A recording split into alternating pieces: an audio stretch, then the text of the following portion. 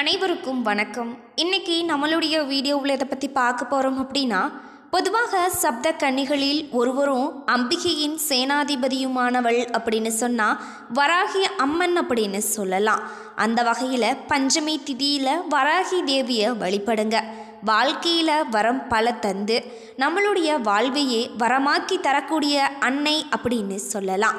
அந்த வகையில் சப்த மாதர்களில் வராகியும் ஒருவராக இருக்காங்க.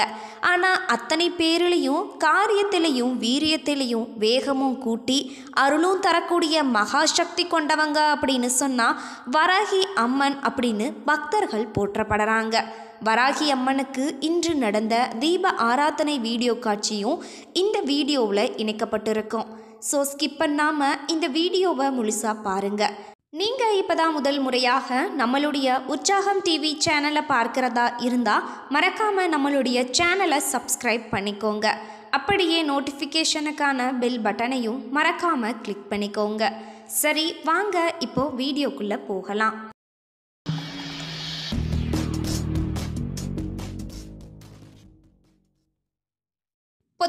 பஞ்சமி திதியில் வராகி தேவியை மனதார நம்ம வழிபட்டோம் அப்படின்னா எதிர்ப்புகளை எல்லாம் தும்சம் செய்யக்கூடிய அம்பாள். தீய சக்திகளை அடித்து விரட்டுவாங்க. காரியம் எல்லாத்துலேயும் துணிந்து இருப்பாங்க. செயலில் வலிமையும் நல்ல பலனையும் தந்தருளாள் அப்படின்னு சொல்லக்கூடியது ஐதீகமாக இருக்கு. வராகி தேவிக்கு பூண்டு கலந்து தோல் நீக்காத உளுந்து வடை ரொம்பவே விசேஷமான ஒன்று. அதே மாதிரி நவதானிய வடை மிளகு சேர்த்த வடை வெண்ணெய் எடுக்காத தயிர் சாதம் நைவேத்தியம் செய்து குளிர்ந்து மகிழ்ந்து அருள்வாங்க நம்மளுடைய அன்னை அப்படின்னு சொல்லலாம். அந்த வகையில் வராகி அம்பாளுக்கு பிடித்த நைவேத்தியங்களை படைத்தும் நாம் வழிபாடு செய்கிறது ரொம்பவே நல்லது. அதே மாதிரி முச்சக்கொடலை சுண்டல் நைவேத்தியம் செய்து நம்ம அம்பாளுக்கு படைக்கிறது சிறப்பு வாய்ந்த ஒன்று. அதே மாதிரி சுக்கு அதிகமாக சேர்த்த பானகம் செய்தாலும் அல்லது வெல்லம் கரைசல் போல நம்மளுடைய வாழ்க்கையில் இன்பத்தையும் நிம்மதியும் சேர்த்து கலந்திடக்கூடியவங்க அப்படின்னா வராகி அம்பாள் அப்படின்னும் சொல்லலாம். மிளகும் சீரகமும் கலந்த தோசையும் குங்குமப்பூவும் சர்க்கரையும் ஏலக்காயும் லவங்கமும் பச்சை கற்பூரமும் கலந்த பால் கருப்பு எள்ளுருண்டை சர்க்கரை வள்ளிக்கிழங்கு இதையெல்லாம் சேர்த்து நைவேத்தியம் செய்து தேவியை நம்ம வழிபாடு செய்தோம் அப்படின்னா சகல சௌபாக்கியங்களையும் நாம் நிச்சயம் பெறக்கூடிய வகையில் இருக்கும். இப்பொழுது வராகி தேவிக்கு தீப ஆராதனை காட்டிய வீடியோ காட்சி பதிவை நாம் இப்போ பார்த்து தரிசனம் செய்யலாம்.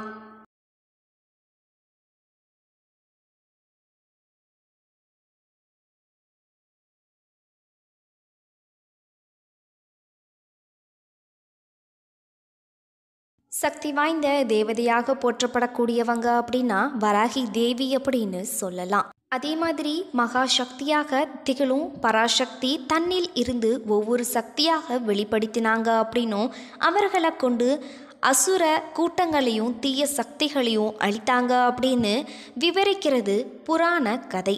இவள் ஆதி பரமேஸ்வரி அல்லது ஆதி பராசக்தியின் ஸ்வரூபமாகவும் பார்க்கப்படுறாங்க. சக்தி வாய்ந்த வாராகி தேவியை நம்ம வழிபாடு செய்தோம் அப்படின்னா சகல சௌபாக்கியங்களும் நமக்கு வந்து சேரும் அப்படிங்கிறது தான் வராகி அம்மனினுடைய மற்றொரு சிறப்பு அம்சமாக இருக்குது.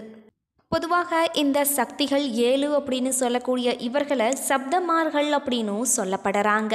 அதே மாதிரி சப்தமார்களின் அதீத வீரியமும் தீய சக்திகளை அழிப்பதில் வேகமும் துடிப்பும் கொண்டிருக்கக்கூடி ஓடோடி வரக்கூடியவங்க அப்படின்னா வராகி தேவி தான். சப்தமார்களுக்கு சந்நிதி அப்படிங்கிறது சோழர்கள் காலத்தில் பல ஆலயங்கள் அமைக்கப்பட்ட ஒரு விஷயமாக இருக்குது யுத்தம் முதலான முக்கிய நிகழ்வின் பொழுது சப்த மாதர்களுக்கு படையல் போடப்பட்டு வழிபாடுகள் நடத்தப்படுவது இந்த கோவிலின் மற்றொரு சிறப்பு அம்சமாக இருக்கு. பொதுவாக வராகி தேவியை நம்ம வழிபாடு செய்தோம் அப்படின்னா சகல சௌபாக்கியங்களையுமே நாம் பெற முடியும். சப்தமார்களில் கௌமாரி மகேஸ்வரி அப்படின்னு சொல்லக்கூடிய தெய்வங்களுக்கிடையே தனித்தனியே ஆலயங்களும் எழுப்பப்படுறாங்க. அதற்கு பின்னால் அடுத்தடுத்த கட்டங்களில் வராகிக்கு கோயிலும் எழுப்பப்பட்டு பூஜைகளும் வழிபாடுகள் நடத்தப்பட்டு வருது அப்படின்னும் சொல்லப்படலாம். அதே மாதிரி பூஜைகளும் வழிபாடுகளும் நடத்தப்பட்ட வரக்கூடிய தஞ்சை பெரிய கோவிலில் வராகிய நாம் தரிசனமும் செய்யலாம். இவங்க ஆதி பரமேஸ்வரி அல்லது ஆதி பராசக்தியின் சக்தி ஸ்வரூபம் அப்படின்னு அழைக்கிறாங்க. மகிஷியை அழித்த மகிஷாசூர மர்தினியின் குதிரைப்படை தலைவி அப்படின்னும் கூட சிலர் இவளை அழைத்து சொல்லுவதும் உண்டு. கோபத்தின் உச்சம் தொடுபவங்க அப்படின்னும் சொல்லலாம். ஆனால் அன்பிலேயோ ஆதரவிலேயோ அன்னைக்கு நிகரானவங்க யாருமே இருக்க முடியாது. இவள் லலிதையின் படைத்தலைவியாக இருக்காங்க. சேனாதிபதியாக போருக்கு சென்று வெற்றி வகை சூடியவங்க அப்படின்னும் சொல்லப்படலாம். இந்த தெய்வத்திற்குரிய காயத்ரி மந்திரத்தை ஜெபிப்போறவங்களுக்கு கேட்ட வரங்கள் மிக விரைவில் தரக்கூடிய சக்தி வாய்ந்தவங்க அப்படின்னும் சொல்லப்படலாம். அப்படியான அந்த காயத்ரி மந்திரத்தை நம்ம சொல்லும் பொழுது வராகி அம்மனினுடைய பரிபூரணமான அருளையும் நாம் பெற முடியும்.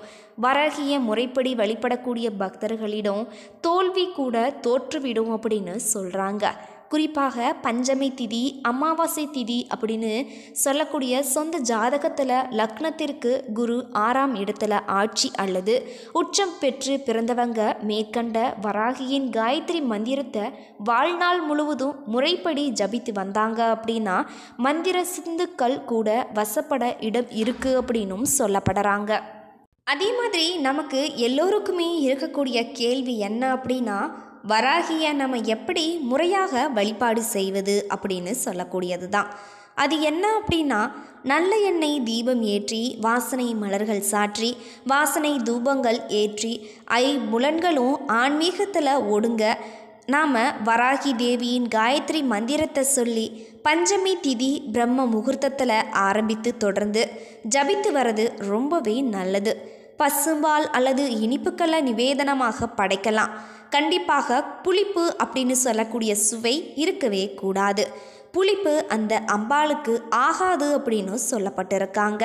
அதே மாதிரி நாம் வராகி அம்மனை வழிபாடு செய்தோம் அப்படின்னா வழக்குகள் சாதமாக ஆகும். எதிரிகளின் வலிமை குறைந்து உங்களது பலம் அதிகரிக்கும். அதற்கு பிறகு வெற்றி உங்கள் வாகை சூடும் அப்படின்னும் சொல்லலாம். அதே மாதிரி கல்வி தொழில் உத்தியோகம் மேம்படும்.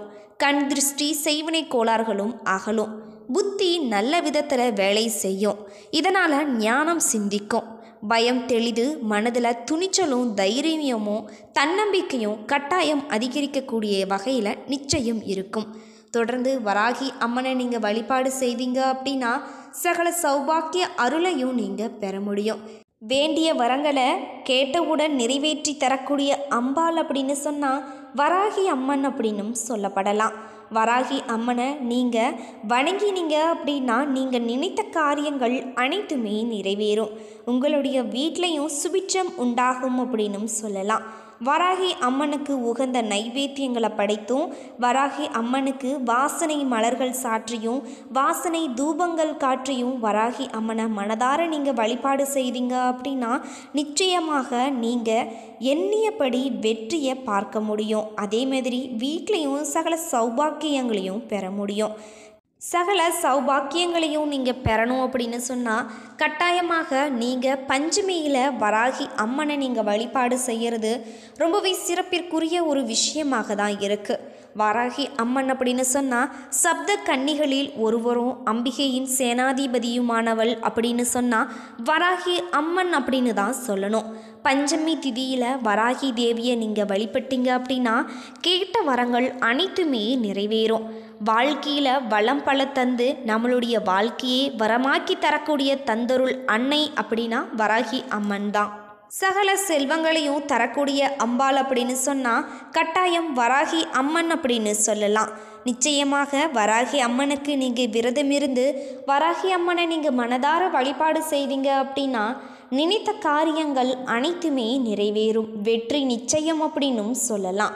இன்னைக்கு நம்மளுடைய வீடியோவில் வராகி அம்மனுக்கு இன்று நடந்த தீப ஆராதனை வீடியோ காட்சியை பற்றியும் வராகி அம்மனை நம்ம எப்படி முறையாக வழிபாடு செய்யணும் வராகி அம்மனுக்கு நம்ம எப்படி விரதத்தை கடைபிடிக்கணும் வராகி அம்மன் அப்படின்னு சொன்னால் யார் அப்படின்னு சொல்லிட்டு நாம் இன்னைக்கு இந்த வீடியோவில் நிறைய விஷயம் தெரிஞ்சுக்கிட்டோம்.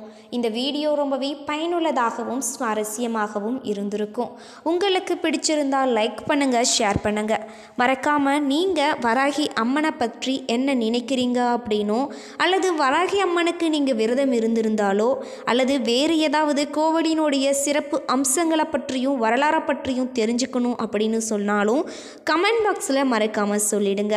மேலும் இது போன்ற ஒரு பயனுள்ள தகவலை பற்றி நீங்கள் தெரிஞ்சுக்கணும் அப்படின்னா மறக்காமல் நம்மளுடைய உற்சாகம் டிவி சேனலை சப்ஸ்கிரைப் பண்ணிக்கோங்க.